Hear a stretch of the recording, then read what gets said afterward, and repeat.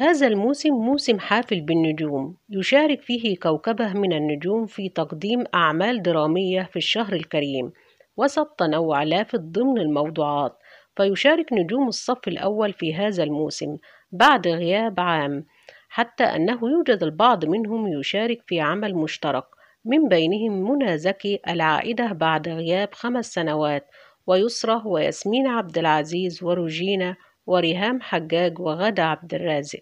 وتتنوع الأعمال موضوعات ما بين الوطنية مثل مسلسل الاختيار الجزء الثاني ومشرين ويدخل السباق أعمال للكاتب الروائي الكبير نجيب محفوظ في مسلسل بين السماء والأرض ومسلسل كفاح طيبة ومسلسل هجمة مرتدة بطولة هند صبري والنجم أحمد عبد العزيز وهو يفتح ملفات المخابرات المصرية وهناك مسلسلات صعيدية مثل مسلسل نسل الأغراب الذي يجمع بين النجمين أحمد السقا وأمير كرارة ومسلسل النمر لمحمد إمام ومسلسل موسى للنجم محمد رمضان.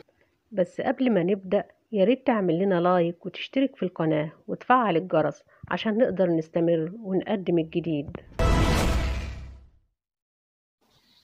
من أشهر المسلسلات التي تقدم في رمضان مسلسل اللي ملوش كبير من المقرر عرض المسلسل في دراما رمضان المقبل 2021 المسلسل يجمع الزوجين ياسمين عبد العزيز وأحمد العوضي وعايدة رياض وخالد الصاوي. سيناريو وحوار عمرو محمود ياسين. إخراج مصطفى فكري. وقد سبق الزوجين ياسمين عبد العزيز وأحمد العوضي أن قدما معا مسلسل الاختيار في رمضان الماضي الذي أتقن فيه أحمد العوضي دور هشام العشماوي الإرهابي ببراعة. مسلسل بين السماء والأرض وهو من الأعمال المقتبسة عن روايات نجيب محفوظ.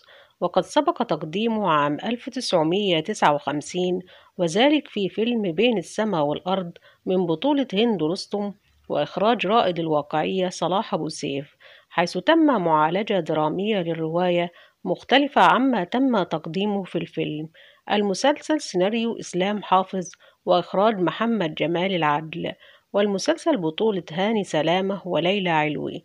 وينضم لأسرة المسلسل منى عبد الغني ونورهان بعد طول غياب.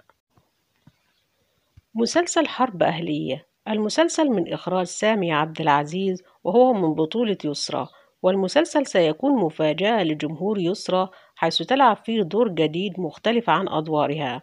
يذكر أن آخر أعمال الفنانة يسرى مسلسل خيانة عهد الذي تم عرضه في رمضان 2020 المسلسل من تأليف أحمد عادل وإخراج سامح عبد العزيز.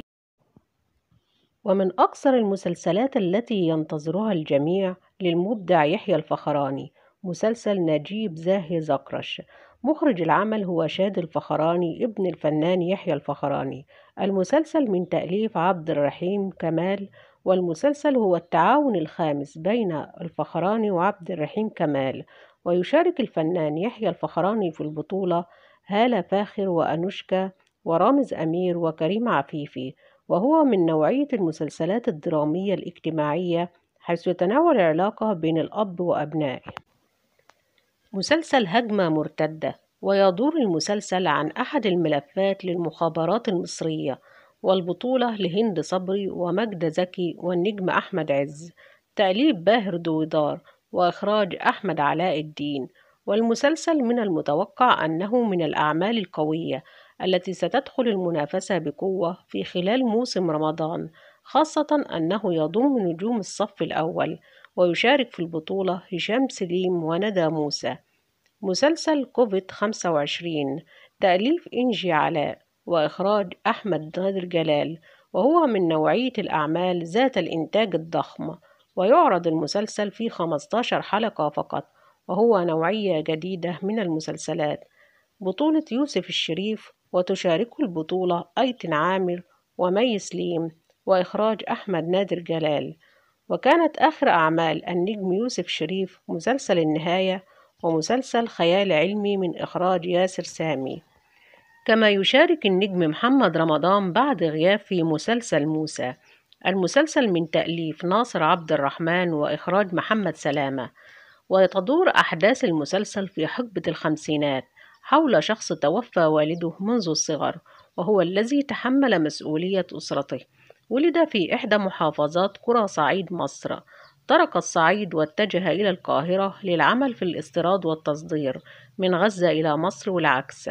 ويعجب بفتاة فرنسية وتدور الأحداث في إطار درامي ويتحول الشاب الذي يدعى موسى إلى مجرم كبير بعد أن يتعرض للظروف الصعبة.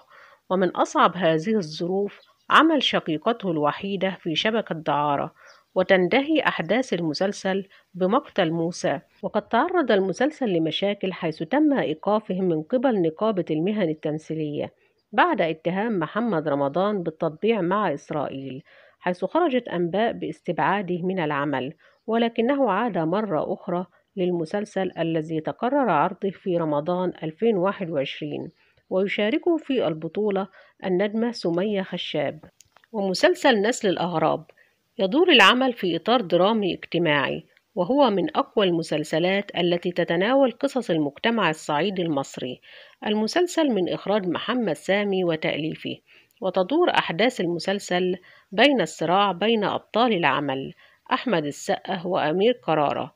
أحمد السقا يقوم بدور عساف الغريب وأمير كرارة يقوم بدور غفران الغريب. وهما تاجران يمتلكان جزر بالصعيد وتجمعهم علاقة وثيقة.